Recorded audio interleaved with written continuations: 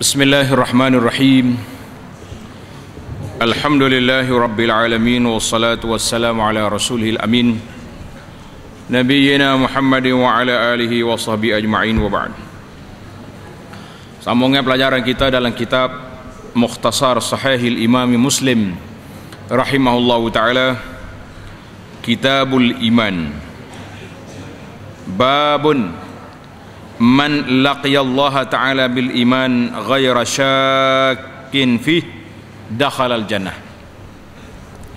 Bab sesiapa yang bertemu Allah mana dia mati dalam keadaan membawa iman yang teguh tak goyah iman dia betul-betul beriman pada Allah tiada keraguan dalamnya. Mantap iman dia dakhalal jannah. Orang ni boleh masuk syurga. Itu jaminan bab kita yang mengumpulkan hadis-hadis tentang ini. Hadis yang kesembilan an Uthman radhiyallahu anhu qala qala Rasulullah sallallahu alaihi wasallam man mata wa huwa ya'lam annahu la ilaha illallah dakhala al-jannah sesiapa mati sedangkan dia yakin ya'lam mana dia tahu dia yakin. Dengan sepenuhnya bahawa tidak ada Tuhan yang berhak disembah selain daripada Allah maka pasti dia akan masuk syurga. Mungkin dia mati dalam maksiat. Dia derhaka kepada Allah Ta'ala. Maka dia akan kena azab. Kemudian dia akan keluar juga ke syurga. Itu darjat bawah lah yang kita naknya darjat kita yang tinggi kita tidak akan disentuh oleh oleh api neraka sekali-kali dan yang paling tinggi lagi bighairi hisab masuk syurga tanpa hisab itu darjat yang tinggi kita berusaha minta dengan Allah Azza wa Jalla Allah Ta'ala maha kaya dia boleh beri pada mana-mana hamba dia yang layak dengan rahmat dengan limpah kurnia Allah Azza wa Jalla. Hadis yang ke-10 An Abi Hurairah radhiyallahu anhu atau an Abi Sa'id Al-Khudri radhiyallahu anhu. Jadi daripada Abu Hurairah ataupun dari Abu Sa'id. Dua-dua tu sahabat belaka tak ada masalah. Syakka Al-A'mash. A'mash nama rawi hadis. Nama dia tulis. Al-A'mash nama dia Sulaiman bin Mihran Sulaiman bin Mihram Al-A'mash Qala Lama kana yawmu ghazwati Tabuk Ketika dalam peristiwa nak berlakunya peperangan Tabuk. Pelajar-pelajar tulis peperangan Tabuk ini bila? Tahun yang ke-9 Hijrah. Ahli sejarah mengatakan lebih kurang tahun 630 630 miladi.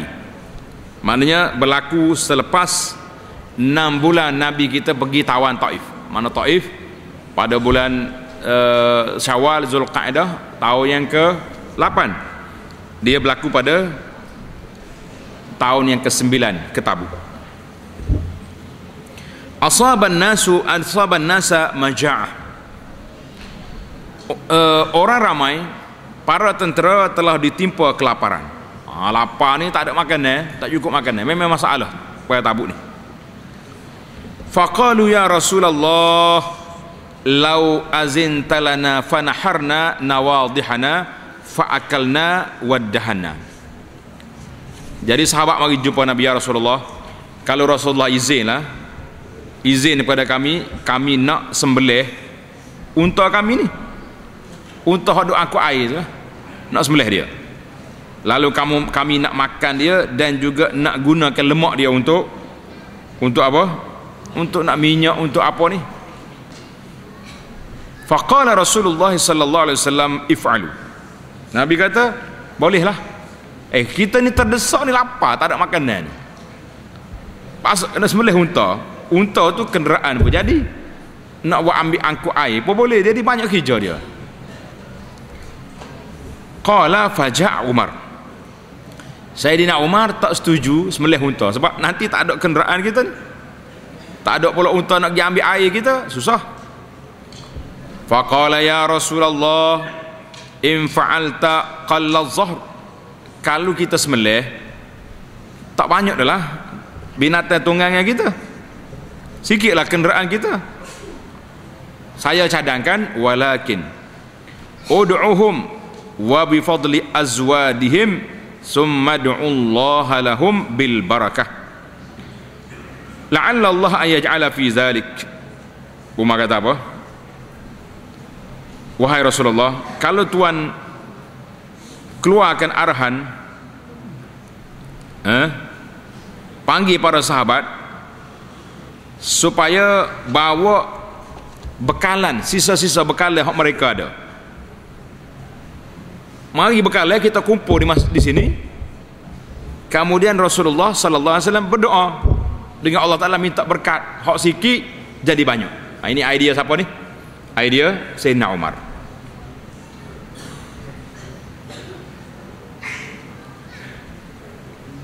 semoga Allah Ta'ala beri berkat.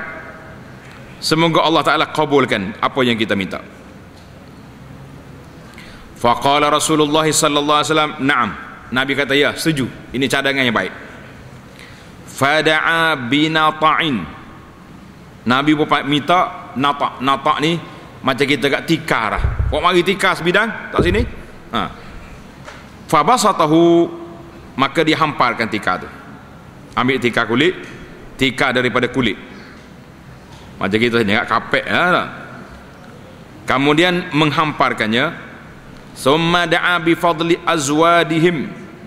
Nabi pun minta eh sahabat-sahabat siapa yang ada lebihan sisa-sisa bekalan buat mari sini belakang ha, Nabi ni nak cari berkat faja'ala ar-rajulu yaji'u bi kaffi zurratin bila Nabi minta lalu laki-laki datang bawa satu genggam gandum. Segenggam yang ada lebih. Tak. Wajak wa yaji'ul akharu bi kafi tamrin. Mari pula orang lain bawa segenggam tamar. Wa yaji'ul akhara bi kisratin au kasratin. Ada pula hok mari pula dengan bawa lebihan-lebihan orang pecah-pecah roti ke apa lebih-lebih tak atas tikar dia tu. Hatta jtama'a 'ala an-nata'i min zalika syai'un yasir. Masyaallah tabarakallah. Ramai-ramai apa kau mari bolehlah terkumpullah makanan yang sedikit tak banyak pun. Kata orang boleh buat denak buat buat buat umpan buat denak qala fada'a rasulullah sallallahu alaihi wasallam bil barakah. Nabi kita doa ya Allah berkatkanlah makan yang sikit. Bila nabi kita doa apa jadi? Makannya tadi berkat jadi banyak. Summa qala khuzu fi aw'iyatikum. Nabi kata ambillah dan masuk dalam bekah-bekah. Ambil makannya tu sipai dalam bekah uh, guni apa ni? Bekal kamu. Sipai balik. Hmm fa akhadhu fi aw'iyatihim hatta ma taraku fil askari wi'an illa mala'u masing-masing tentera ni bawa belakang. Mana bekah ada tupperware dia ada bekah dia isi belakang makannya itu saya penuh bekah bekalan. Qala fa akalu hatta syabi'u. Mereka makan sampai kenyang. Wa fadalat fadlatun lebih lagi sikit. masya-Allah tabarakallah. Tinggal lagi hok asar dia tak habis-habis faqala Rasulullah sallallahu alaihi wasallam nabi kita bersabda asyhadu an la ilaha illallah wa anni rasulullah. Aku bersaksi la ilaha illallah aku ni Rasulullah. La yalqallaha bihima abdun ghairu syakin fayuhjaba anil jannah. Nabi kata apa seorang hamba yang meninggal dunia dengan membawa syahadah ini. La ilaha illallah Rasulullah ini tanpa ada sebarang keraguan. Yakin sungguh-sungguh? Nescaya dia tidak ada halangan untuk masuk syurga. masya-Allah tabarakallah. Jadi hadis ini kita masih lagi berbincang tentang mana? Tentang kelebihan masuk syurga dengan sebab la ilaha illallah Muhammadur Rasulullah. Hadis yang ketiga dalam bab ini iaitu hadis yang ke-11 Anis Sunabihi an Ubadah ibn Samit Tengok dalam kitab tulis Ubadah bukan Ubadah. Buat dia punya sabdu. Ubadah an Ubadah ibn Samit. Hmm. Radhiyallahu anhu seorang sahabat. Qala siapa dia qala qala Abdul Rahman As-Sanabihi dakhaltu alaihi wa fil maut fil maut dia kata aku pergi ziarah Ubadah ibnu Samit dalam keadaan dia sedang sakaratul maut nak mati. Fa itu saya pun menangis. Sedih tengok sahabat Nabi nak wafat nak mati. Faqala mahlan? Kata dia Ubadah sabar. Lima tabki kenapa menangis? Ya sanabihi kenapa menangis? Fa wallahi. Dia bersumpah la in la in istushhitu la ashhadanna laka wa la in sufi'tu la ashfa'anna laka wa la in istata'tu la anfa'anna lak. Dia kata apa? Demi Allah jika kamu minta persaksian aku di akhirat esok aku jadi saksi. Kepadamu. Dan jika kamu minta pertolongan aku akan beri pertolongan. Pasti saya akan bertolongan padamu dan jika saya mampu pasti aku akan beri manfaat padamu. Mun orang baik aku akan tolong biar aku pergi dulu. Summa qala. Kemudian dia kata ubadah wallahi ma min hadisin sami'tuhu min rasulillah sallallahu alaihi wasallam lakum fihi khairun illa haddatstukumuh tidak ada mana-mana hadis aku dengar daripada Nabi sallallahu alaihi wasallam yang memberi manfaat kepada kamu. Semuanya aku telah riwayatkan pada kamu ini dipanggil amanah ilmiah. Ilmu ada kena bagi tahu jangan sembunyi. Illa hadisan wahidan. Satu je hadis aku simpan tak riwayat lagi. Illa hadas uh, illa uh, wa sawfa uhaddis kumuha al aku akan riwayatkan hadis ini kepada kamu sekarang. Faqad uhita bi nafsi aku ni hampir nak mati dah. Takut hadis ni tak ada siapa riwayat. Dia kata apa hadis? Dengar ni para jemaah sekalian. Hadis ni sangat besar.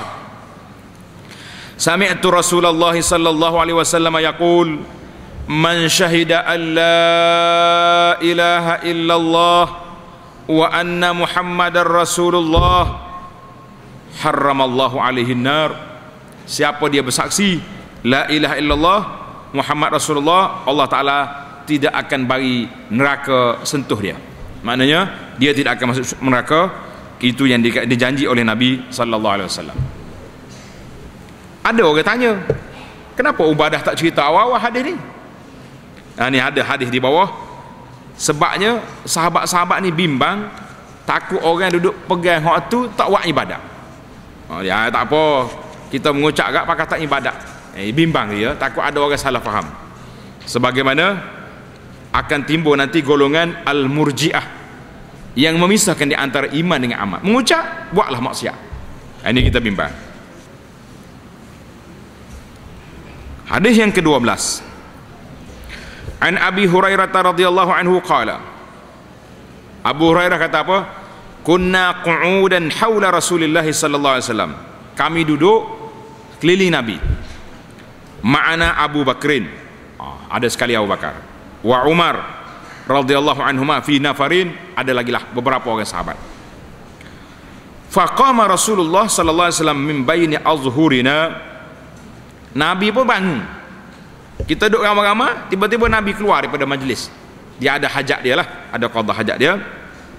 Fa abta'a alaina lama Nabi pergi. Ai wa khashina an yuqtata'u dunana saya pun mula lebih bimbang. Takut-takut nabi ni kena benda-benda tak baik. Gebah ke? Ada apa musuh mari kacau dia ke? Wa fazi'na. Ha, kami pun pakak bangunlah lagi cari. Nak pergi cari nabi. Faqumna wa fakuntu awwala man fazi' Abu Hurairah kata aku orang mula-mula bangun. Fa kharajtu abtaghi Rasulullah sallallahu alaihi wasallam.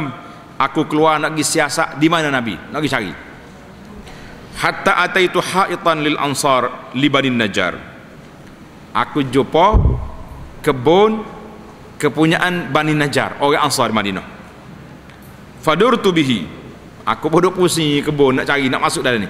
Katanya nabi masuk dalam kebun ni. Hal ajidu lahu baban? Ada pintu kau tak eh? Falam ajib tak jumpa pintu tak ada pintu. Maknanya pintu tutup. Nabi duduk dalam. Fa iza rabiun yadkhulu fi jawfi haitin. Tiba-tiba aku tengok parit. Mana salir air masuk ke bawah pagar pagar kebun. Ah sudah. Eh yadkhulu fi jawfi haitin min bi'rin kharijatin. Yani ada air keluar daripada kebun tu. Fahtafaztu. Ha. Dia kata apa? Aku pun melompat lalu masuk ke dalam dalam pari air, pari air. Menyusup masuk. Fadakhaltu ala rasulillah sallallahu alaihi wasallam. Aku masuk dalam kebun ni jumpalah dengan nabi sallallahu alaihi wasallam. Nabi tengok Abu Hurairah nabi tanya faqultu na'am. Ya ya rasulullah. Qala ma sya'nuk? Kenapa awak? Qultu ya qultu kunta baina azhurina tuan duduk sekali dengan kita. Faqumta fa'abta'at fa'abta'at alaina. Lama pula pergi tak balik-balik. Fa khashina an tuqtata'a dunana fa fazi'na aku bimbang takut nabi kita ni ada kena musibah apa-apa kami pun mari cari. Fa kuntu awwala man fazi' saya orang mula-mula sekali mari cari Rasulullah sallallahu alaihi wasallam. Fa ataitu hadzal ha'ita fahtafaztu kama yahtafidu sa'lab. Aku mari dekat dengan kebun ni aku menyusup masuk seperti serigala menyusup masuk dalam kebun. Wa haula'i annas wara'i. Kata dia Abu Hurairah belakang saya luar kebun ramai lagi nak masuk ni nak cari nabi ni. Tapi saya menyusup masuk awal-awal lagi. Wa qala kata nabi kata faqala Abu Hurairah ya Abu Hurairah hey Abu Hurairah wa a'tani na'lai.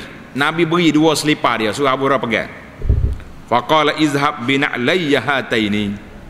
Membawa dua selipar aku ni gih keluar daripada kebun. Faman laqita min wara'i hadzal haiti. Mana-mana orang hak mu jumpa luar kebun ni yashhadu an la ilaha illallah mustayqinan biha qalbuhu. Dia kata la ilaha illallah dengan penuh yakin hati dia fabashirhu bil jannah. Membawa khabar gembira dengan dia ni ahli syurga selipar tu untuk apa bukti bahawa Abu Hurairah sudah jumpa dengan Nabi sallallahu alaihi wasallam. Ha. Fakana awwalu man laqitu Umar. Masya-Allah, jumpa orang yang hebat umur dia. Oh mula-mula aku jumpa Sayyidina Umar. Faqala ma hatan an-na'lan. Eh, Abu Hurairah. Apa benda dua selipar ni bawa ni? Faqultu hatani na'la rasulillah. Ni selipar nabi ni sallallahu alaihi wasallam. Ba'asani bihima. Nabi kita hantar aku sebagai buktinya aku pegang selipar dia. Man laqitu yashhadu an la ilaha illallah mustaqinan biha qalbuhu basyartu bil jannah. Mana-mana orang aku jumpa hak dia yakin dengan la ilaha illallah rasulullah aku diminta supaya sampaikan khabar gembira dia ni ahli syurga qala kata dia berah fadaraba umaru biyadihi baina sadiyaya Umar pun tepuk tangan dia atas dada aku ni. Bong bagi. Fakharartu li isti. Ha? maka saya terjatuh. Terduduk bong jatuh. Nyetapah dia Umar jatuh dia. Faqala irji ya Abu Hurairah. Pergi balik semula jumpa Nabi Abu Hurairah faraja'tu ila Rasulillah sallallahu alaihi wasallam fa ajhashtu bukaan. Jadi aku pergi jumpa Nabi dalam keadaan aku menangis. Sakit berkali. Nyata apa di sana Umar tadi. Warakibani Umar. Ha, jadi Sayyidina Umar ikut aku belakang. Fa idza huwa ala athari. Dia ada belakang sekali dengan aku. Faqala Rasulullah sallallahu alaihi wasallam malaka ya Abu Hurairah apa sebab Abu Hurairah ni? Menangis patut mari pula jumpa aku ni kenapa? Fakultu laqitu Umar aku jumpa Sayyidina Umar. Fa akhbartuhu billazi ba'astani bihi. Saya cerita kepada dia. Rasulullah hantar aku suruh pergi cerita kepada mana-mana orang yang beriman kepada Allah berasul Nabi wasallam orang ni ahli syurga fadaraba baina sadiyaya darbatan kharartu li isti. Dia pukul aku ni antara dua susu ni reboh saya. Faqala irji' dia kata pergi balik semula ke Rasulullah. Jadi siapa dia? Abu Hurairah report ke Nabi sallallahu alaihi wasallam. Faqala lahu Rasulullah sallallahu alaihi wasallam Nabi berkatanya ya Umar ma hamalaka ala ma sana. Kenapa mu buat gini ke Abu Hurairah pukul dia sampai terduduk? Qala ya Rasulullah bi abi anta wa ummi. Demi bapak dan ibu aku. Aku tebus Rasulullah ni. Aba'asta Abu Hurairah bin alaika.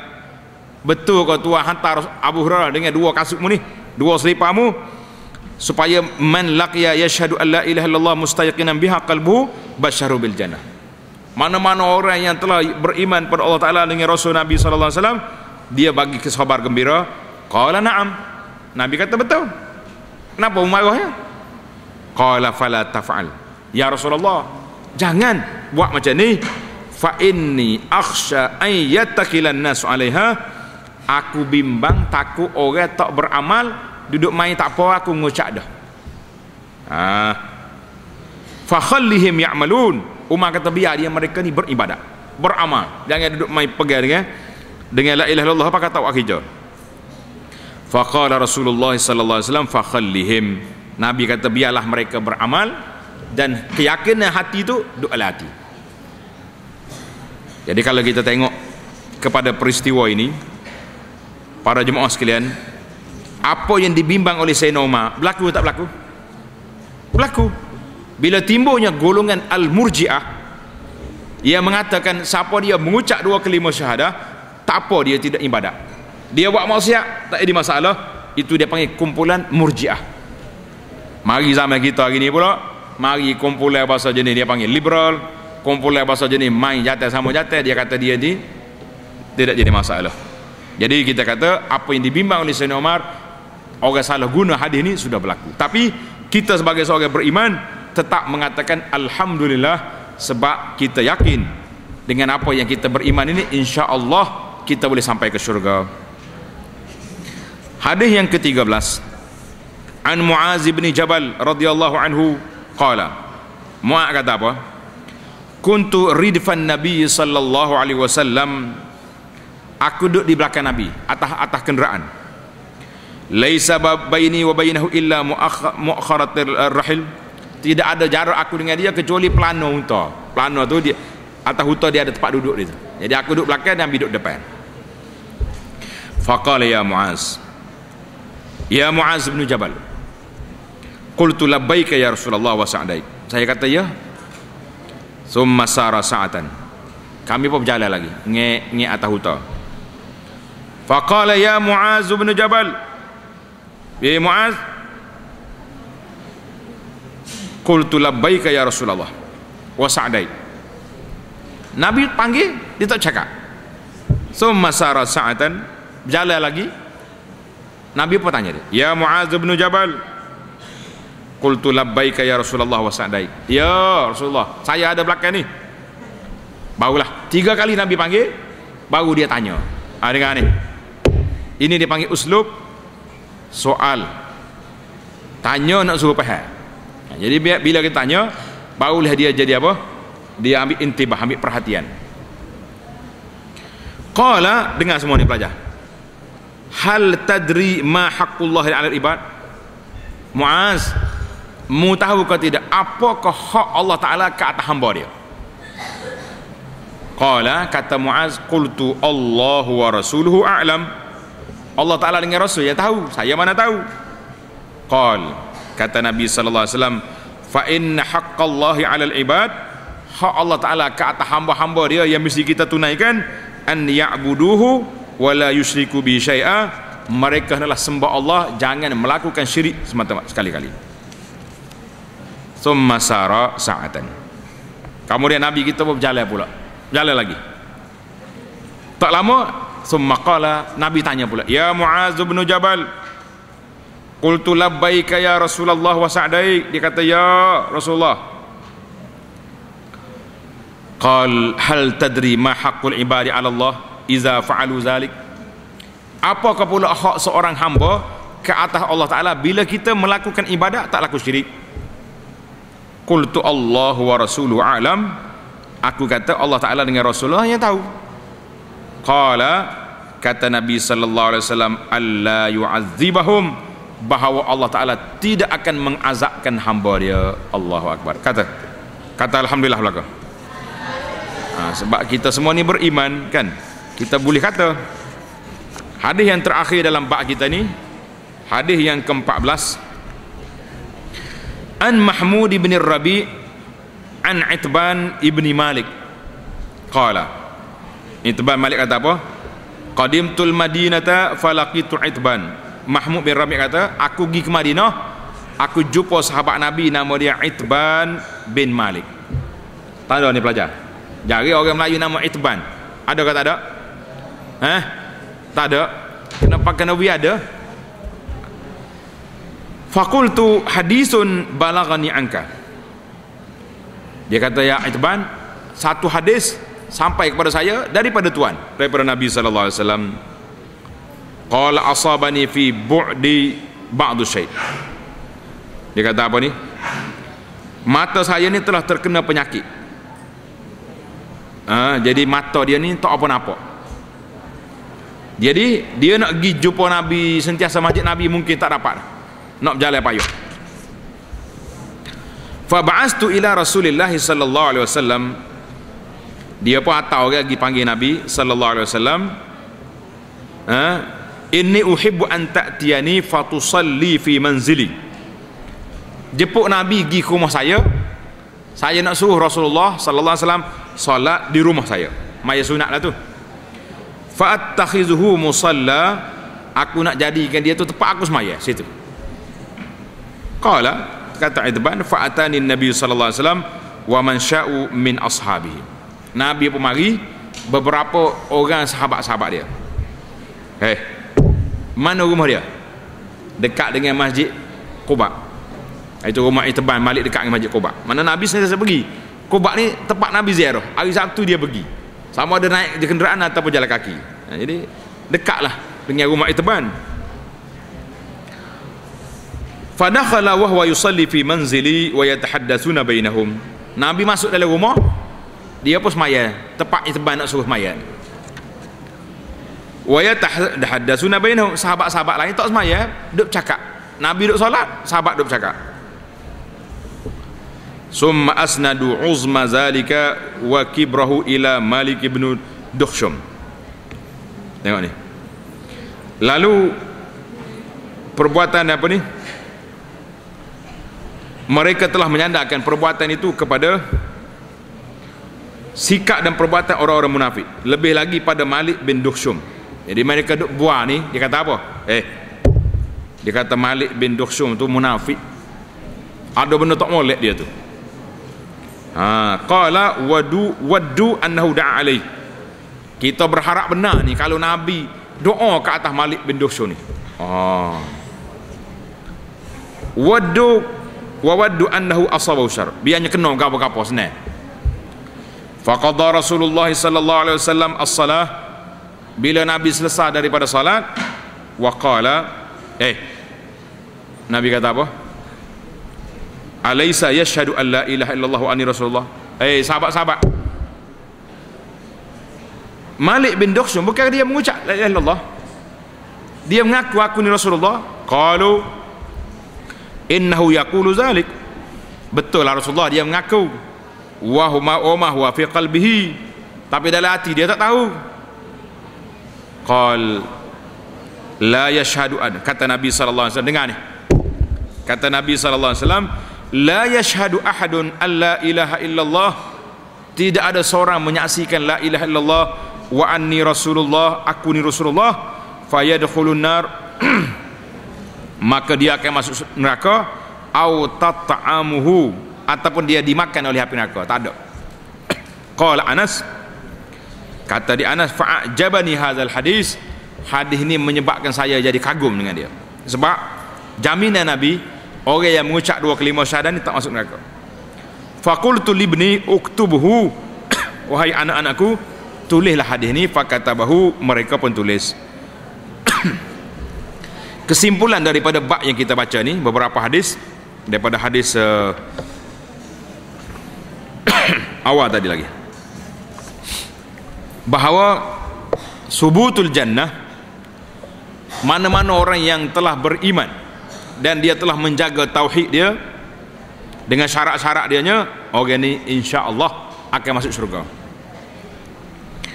Yang kedua kalau ada keperluan hajat kalau orang mari solat di rumah lah contohnya bolehlah kita bercakap. Tapi kalau di masjid jangan duduk cakap kena pakat zikir belakang.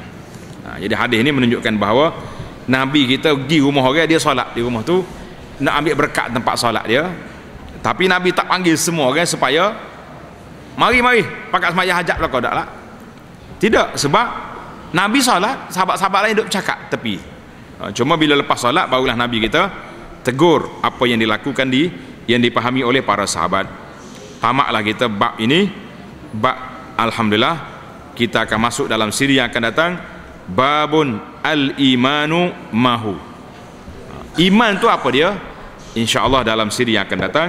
Subhanakallahumma wa bihamdika asyhadu an la ilaha illa anta astaghfiruka wa atubu ilaih wa sallallahu ala nabiyyina muhammad wa ala alihi wa sahbihi ajma'in. Walhamdulillahi rabbil alamin